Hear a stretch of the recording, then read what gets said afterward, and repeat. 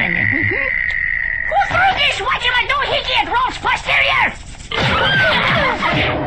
Ah, there's a potato forces.